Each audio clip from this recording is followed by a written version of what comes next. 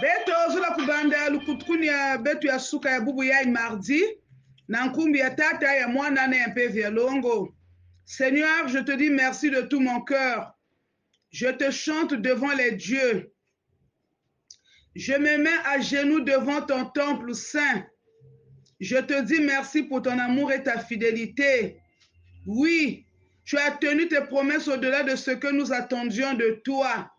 Quand je t'ai appelé, tu m'as répondu. Tu m'as rempli de courage et de force. Que la grâce et la paix vous soient données de la part de Dieu notre Père et de Jésus-Christ notre Sauveur. Amen. Amen. la numéro 12.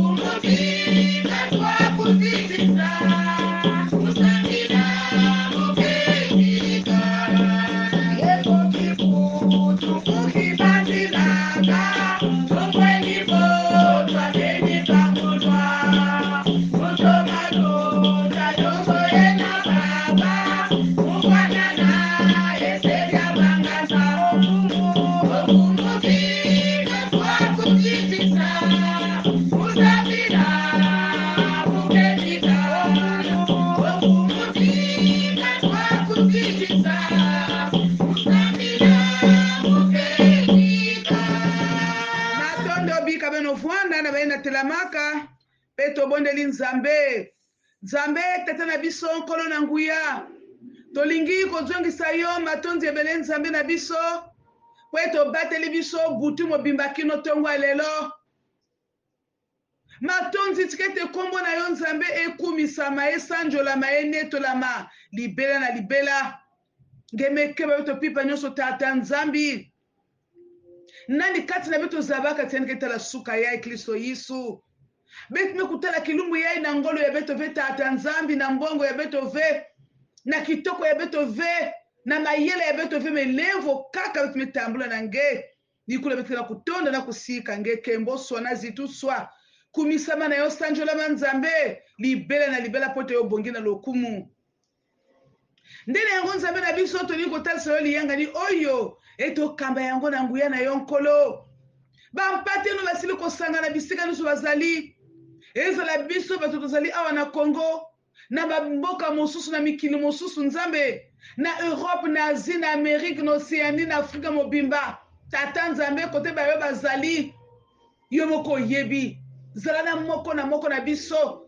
baye nyonso bazali kolanda liyangani oyo nkolo tika ete ozala na bango yala mayindu ya beto yala mabanza ya beto tata nzambi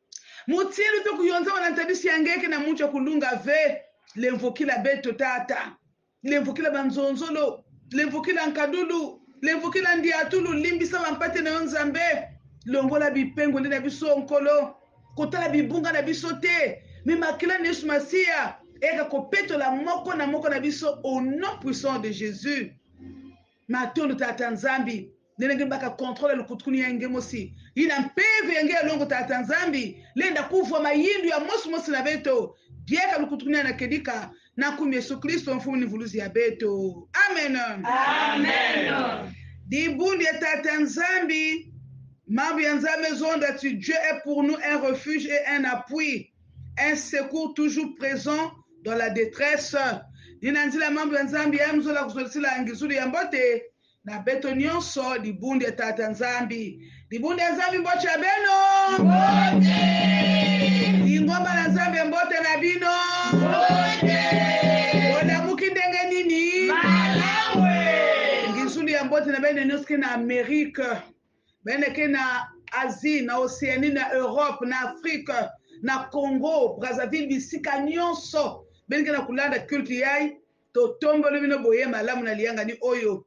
ngizuli ya mbote na bamembre ya commission technique motiyo mpe kuyonzama awa na munu mpe kisielo ya nzambe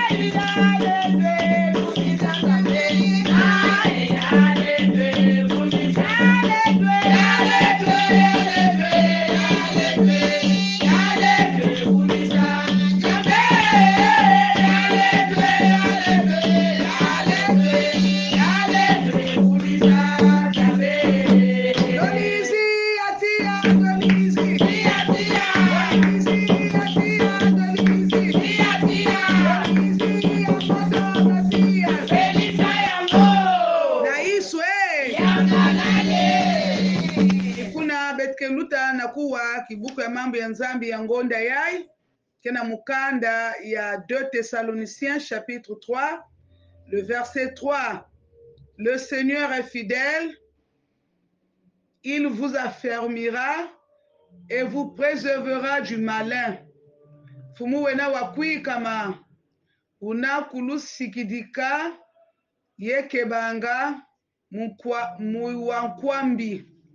Nde Nkolo ajali sembo, ye akolendisa bino mpe akobatela bino epayi na mabe. Amen.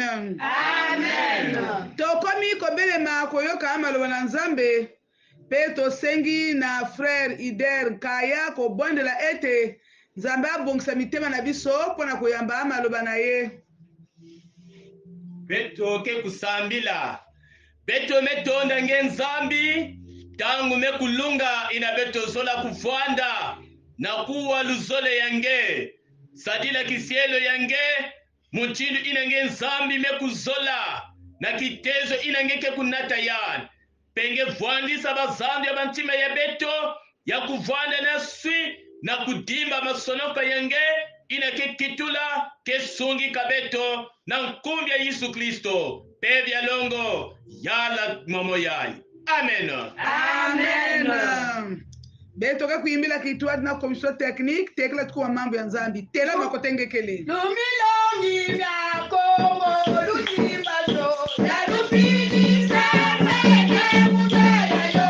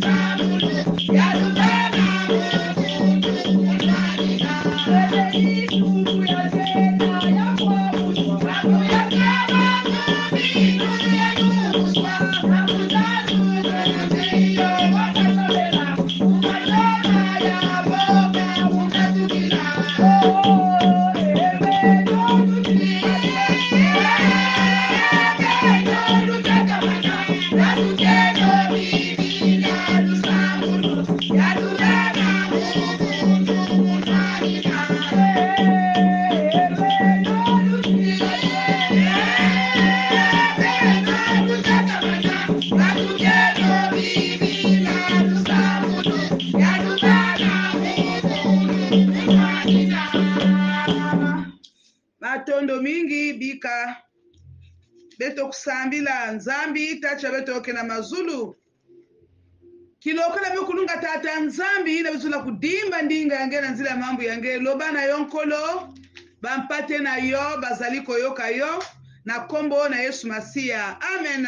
Amen. Maloba na Nzambe oyo tokomaniola na tongo ya lelo, balingami kati na Nkolo, nde oyo ekomami na mokanda ya ba njembo, psaume, chapitre 44, 6 à 8.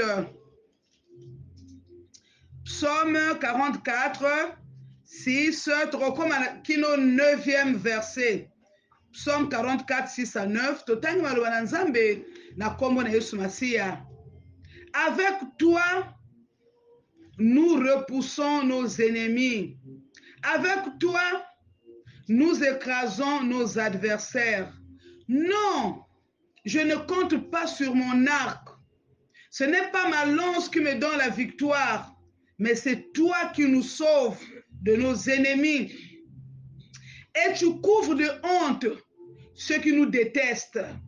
Seigneur, tous les jours, nous chantons ta louange et sans cesse, Nous te disons merci. Amen. Amen. balingami kati na nkolo maloba na nzambe oyo totangi topesi yango mama ya likambo non je ne compte pas sur mon arc ina ne ngudi ya nsambe tino kopesa na mambo ya ive mokenda kolekela ve kiminu na kinuanunu ya munu libunda tata nzambi mambo ya mekusonama to nkunga ye mekuyimbulwa na babana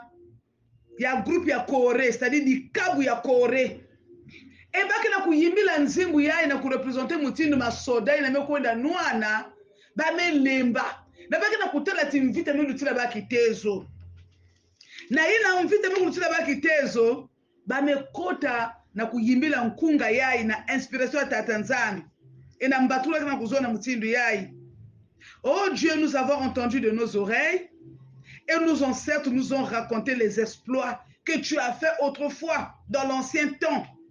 Ba commencé yibela na ku rappeler tata Nzambi bimango yanyo kuyilika na talisi ya bamase ya bao na talisi ya batata ya bana ntango ya tama bango bakomaki lokola mwa desespere balembaki mpo ete etumba elekelaki bango me bakomi koyemba njembo mpo na korapele na nzambe ete biso toyoki na matoyi na biso ba exploit oyo osali na ba tata na biso na ba koko na biso na tango ya kala obenganaki mabota ebele oyo etemelaki bango nge ebenganaka makanda mingi na teduminaka ba bake na kurapele na tata nzambi ba bienfait ya yandi inani salaka na baina kutekrilaka ba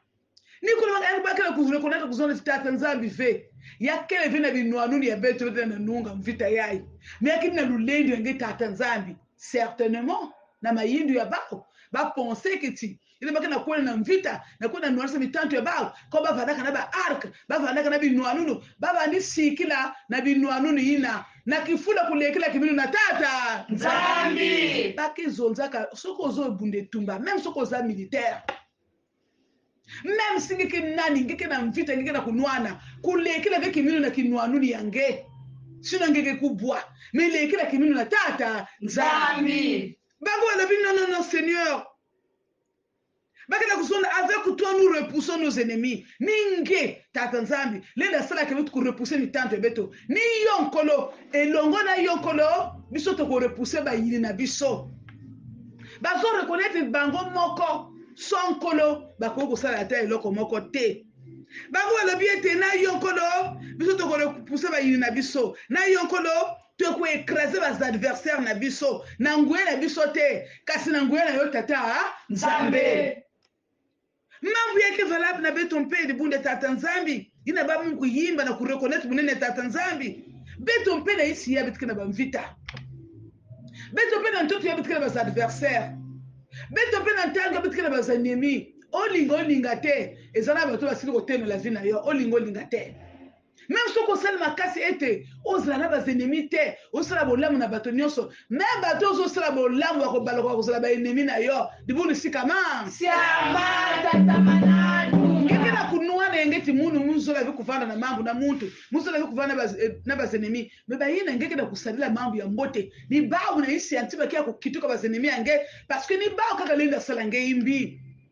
Ni kuna voilà pourquoi que zona kati ngeme za baba yini ngeve ngeme za bitatu ngeve mais c'est Dieu qui les connaît. Yo yebi ba ennemis na yo te mais ni nzambe yebi bango malamu malamu. Parfois bene ngene kutala tie ba ennemis ya mun parfois ba ouvert kati ka ba ennemis ngene nzambe za ba bao.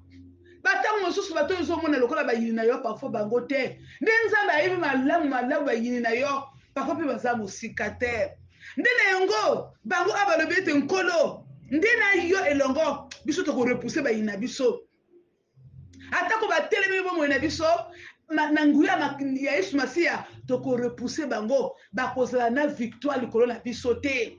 Biso nde tokozwa nguya wana ya korepuse bango, atako bayakaki na banzela na nzela moko, bakozonga na banzela sambo, mpo ete biso na nguya ya Yesu Masiya tozali korepuse bango.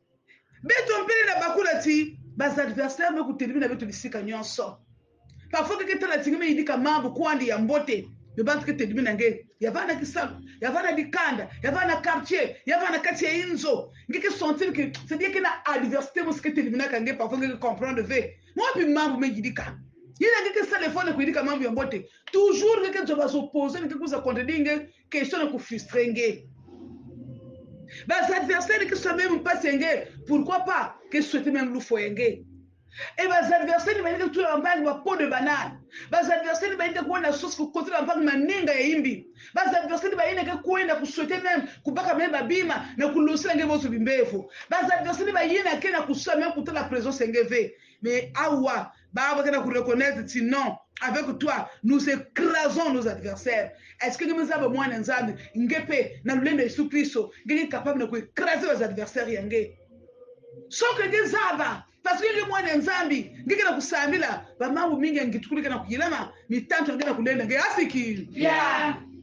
mpo ete ozali mwana na nzambe ozali kobondela bantango nyonso nkolo azali na yo bas adversaire no bazali kolonga yo te Ozali ko ecraser bango mikolo nionso mpo ete oyo bango bazali kosala na nkuku mpo ete balonga na yango asiki pia. Bazali kokamwa mpe me elenge oyo azali ndenge nini? Me mwana bakali yake wa foso. Me mwana kente yake wa foso. Be tika na kolenda ve important tika na kosala mais c'est parce que tu es avec le Seigneur bien aime. Parce que tu es avec Jésus. Pas besoin que vous serez combattu, mais pas hein, vaincu. C'est la parole de Dieu qui le dit, bien-aimé dans le Seigneur. Vous serez combattu, mais pas vaincu. Bakobun sabino, kasokolonga binote. Bas adversaires, basali, que mille tombent à ton côté et dix mille à ta droite, tu ne seras pas hein, atteint. De tes yeux seulement tu regarderas et tu verras la rétribution des méchants.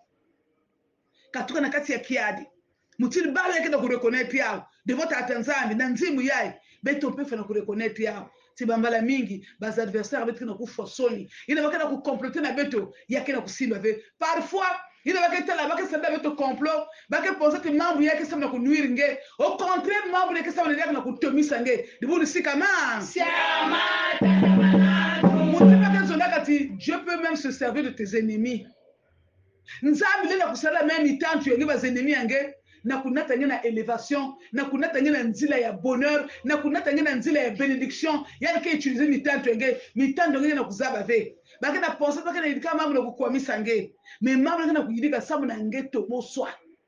Ni kuna katuka na boma. Nos ennemis sont écrasés par la puissance de Jésus-Christ. Kanenge leke la kimi na Yesu Kristo. Yali ke ko écraser bas adversaires yenge. baketi na nge bakepesa nde bankubu mingi tokomona mpe lelo bato mingi na kati ya lingomba bapesa yango bakombo oyebi likambo te okomi framason oyebi likambo te okomi ndoki oyebi likambo te okomi suspect Parce que ozali na Nzambe, bazali komekola butu na moyi, bazali kokoka te, bakomi kopesa ba kombo, ba ma se kasange mekola simba, alors que nge kintor na tata Nzambi! Mwana Nzambe kobanga te.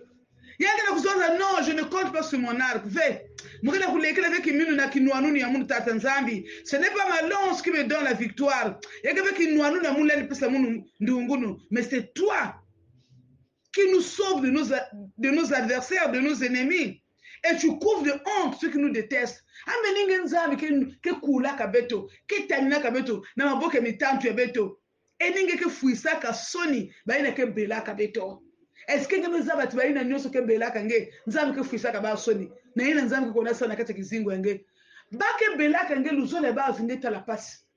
Luzolo ya batu nga ebonga ve.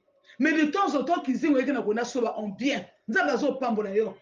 Olaki kosala te Nzambe apesa yo mosala. Baye na bandi kina nge kakiadi ko. Kiadi. Kiadi mi kotila ba. Baye na bandi zola venge kuela. Ba me bika nga na statue lifike tala kotala nge kuela. Mais Nzambe ayi kopambola yo kozwa libala. Bayi kobala yo. Mpo na bango ka kiadi ko kiadi. Bayina nionso kena ku souhaiter ti mwana yadi to koyai yani fona kuvuanda kaka na mpasi na isi ya beto ku demander ke beto mbongo mais nzambe apamboli yo a eleve yo quelque part okomi osala quelque part okomi osala na nzambe okomi soki nani songolo pakala oyo mpe bato bakomi kopesa respect ba ennemis ya ngai mokuma na soni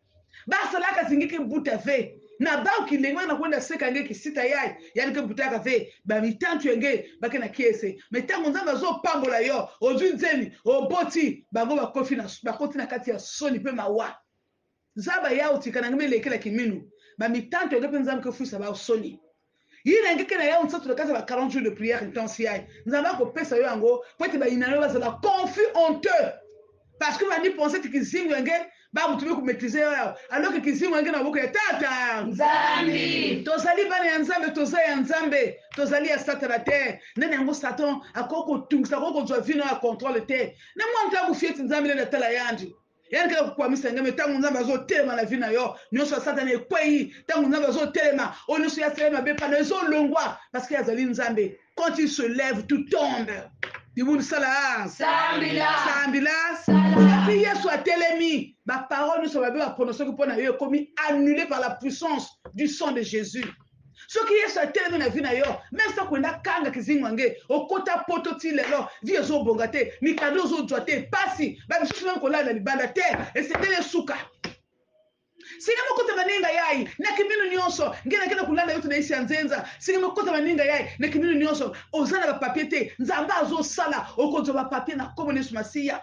Ngeke katuka na kizingo ya nganda nzambi ke salisa nge ngeke nzo kisalu ngeke nzo ba papier sam na nge temone bunene tata nzambi me ngeke nunga na ngolo ya ngeve me na ngolo ya tata nzambi yandi sibe c'est toi qui nous sauve de nos ennemis yake ba bantu mingi ba me voyage me kola ba isi ya nzenza me ba bantu yake ba me bika na bwala ke na kulanda bao na mayindu na kwenda kwamisa bao na mavanga ya tombe mais maintenant mambo nzambi ezo laiki que personne désormais ne me fasse de la peine Car je porte sur mon corps les marques de Jésus. Que personne désormais ne te fasse la peine là où tu es. Car tu portes sur ton corps les marques de Jésus. betuma yekula bena boka tata nzambi nzambi salisa beno mitanto ebetu fana kufa soni na manenga yayi baina nyonso betelemi na kizingu ya beto bana nzambe oyo atelemi na bomoi na yo Azala nani songolo pakala ya vuanda tata mama ya vuanda nani na kati ya likanda tutu condamnation sans cause na pas de fait tutu malediction sans cause na pas de fait ina ba kwenda kanga na nkuku nzambe azo bebisa yango na nguya makila na Yesu Masiya kizingo ngeke na kusoba Yabiti Seigneur tous les jours nous chantons ta louange et sans cesse nous te disons merci Bilongo nionso mpe nakoyembela nge bankombo na masika na bite na kuvutula nge matondo beto mpe zola kutonda nzambi na kuyembela yandi na yende na kuvangela beto bilumbu nionso biso mpe tolingi koyembela nkolo batango nionso mpe kotonda ye na maye nionso azali kosala kati na bomoi na biso oyo tozali komona na oyo tozali komona te mpo ete balingami kati na nkolo nzambe azosala ya mingi oyo tozomona te baya mingi kati na biso banyati bamalade ebele me eza na efe na kati na bango te wana nyonso nguya ya tata ah, nzambe baya mingi bakuta na baza atake lolenge na lolenge me esali eloko te kati na ye mpo te azali ya nzambe azali na marke ya jésus na nzoto na ye bato mingi ngati bubia kasi yanike biaka moyo ve me yanike moyo sabu na nzambe ke na koyende epargne na bamvita na mitanto eyandi nzambe asunga biso na nzela ya maloba oyo na komanela koyeba ete tozali biso moko te nkolo na biso celui qui en nous est plus fort que celui qui est dans ce monde oyo azali na biso aleki nguya na oyo azali na mokili kobanga lisusu te mwana nzambe koyimayima lisusu te me tia elikya na nkolo yesu masiya mpo ete yo mwana nkembo na ye nzambe apambola maloba na ye amen amen galate 6 17 que personne désormais ne me fasse de la peine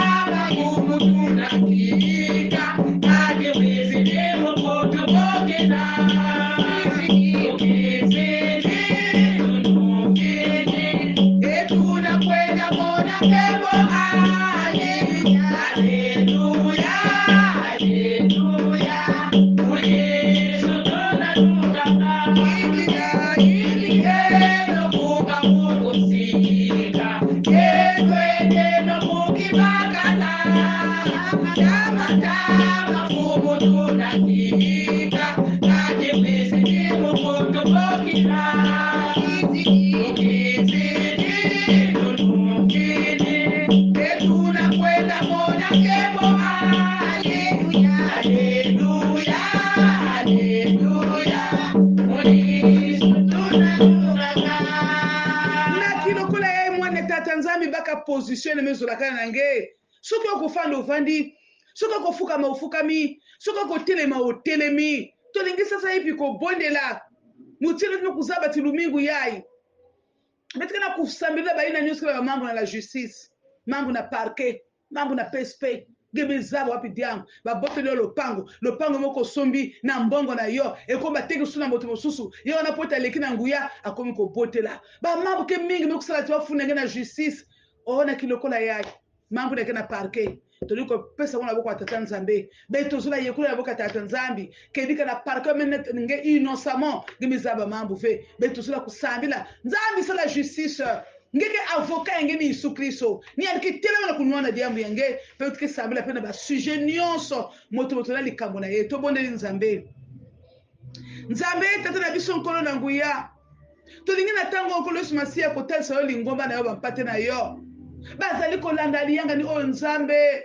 na ntango oyo nkolo omoni bango bazali koaccuse kuna na justice bakoki kofunda na justice na likambo oyo ayebi te bakoki kobotela yo lopango makambo ebele bo bakufeli mibali bo bakufeli batata makambo eza na parke na justice nzambe Tozo bela justice na yo esalama au nom puissant de Jesus. Tozo bela justice na yo Nzambe esalama Nkolo Yesu Masiya. Yo moto ozali le défenseur des veuves, le père des orphelins Tata Nzambe. Loba likambo kata makambo oyo lolenge ezali justice na yo Nzambe. Tika ete nde gisalisa Tata Nzambi bene mekwenda funda na justice innocemment. Lupangu ane sumba na mbongo ya Yandi mais ba yokusa votu na Yandi ya tata nzambi samba ti mutu na kena connaissance mutu na kena ba moyen to pesi nionso na maboko na yo mambu ni mambu tata nzambi ba benda tina mwana nge na justice kebe zaba tika te yo telema tika te yo loba loba moko nzambe sunga ba mpate na yo kotika ba yo te nkolo pesa elonga na bana na yo mpe tozala yekola nde basujet nyonso moto na moto akoti mandenga oyo azali na likambo na ye nzambe bamisusu bazali babeli azali kotalisa yo bokono na ye na maboko na yo nzambe ete oyo obikisa ye mpo ete ozali docteur na badocteur yesu nsima banzoto ya bakono nyonso bayekaki na kobelela bazopito bamisusu na baklinike bamisusu na bandako bamisusu bisika nyonso nzambe sembola loboko na nguya bikisa bayokeli koswa nkombo ya bokono En toi, il n'y a pas de mal maladie incurable. Toi, tu guéris toutes sortes de maladies, Seigneur. Bikisa bango, quel que soit kombo ya bokono. Ezala cancer, ezala nini. Ozali nzambe na bikamwiseli. Tu n'as pas changé avec notre Dieu.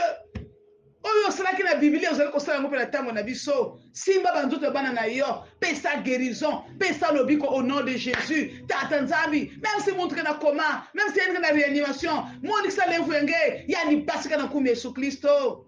Niakisa ba mbevo nionso, zala nge ke Tata ya lulendo. Salisa bayina ke na kudila sala na makuela, mabala ezo ninga na Nzambe, bolingo ezali lisusu te Nkolo.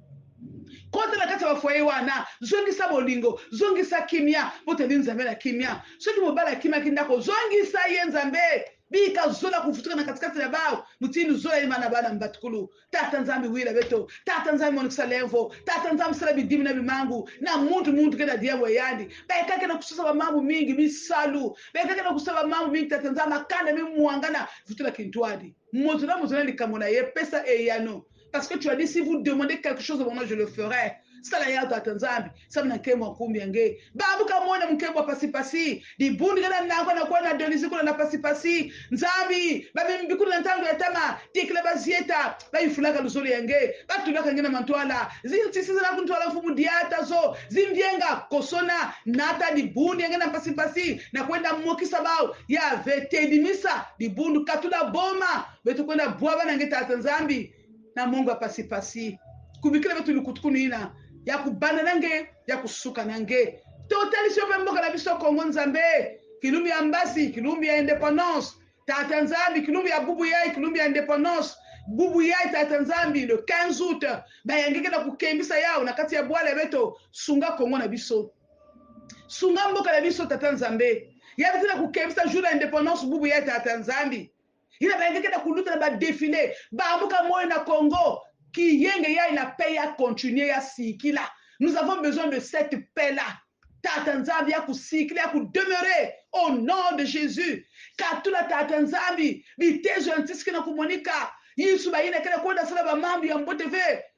Tata Nzambe na kuanarke ba bantu, na kukidnape ba bantu, na kukuenda pasula ba bantu, Nzambi, kanangele na bua bana ba bantu ya bifuina, nge meta kidzuu na bua lebeto. O sunga mboka na biso Congo Nzambe, batela biso nioso, nkembo, lobiko ezonga epa no Nzambe, na kombo na Yesu Masiya tosengi bobele boye. Amen. Amen. Tokomi na suka ya liyanga na biso, nde kozongisa matondi ebele na bino banso bosili kolanda liyangani oyo. Nzambe apambola bino banso.